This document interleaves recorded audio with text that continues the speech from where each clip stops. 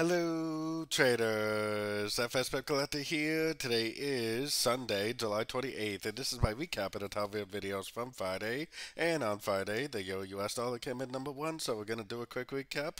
So, if you did not see my full top down analysis on Friday for the Euro dollar, make sure you check out the video linked at the end of this video over here.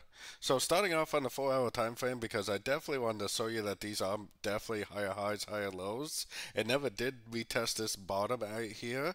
So for me, the most recent structure level is still way up here. I'm going to be looking for shorts unless it goes up and breaks this level right here. Otherwise, to me, this looks very, very corrective, and I still think we're going to push down to at least a 50% Fibonacci retracement on the daily time frame, and maybe even a little bit lower. So taking it down to the four-hour time frame, I would definitely keep an eye out for a break of structure to the downside. That would definitely be a shorting opportunity for me for the continuation of the downtrend. If it does decide to go up to a higher fib level, then that's not not a big deal either.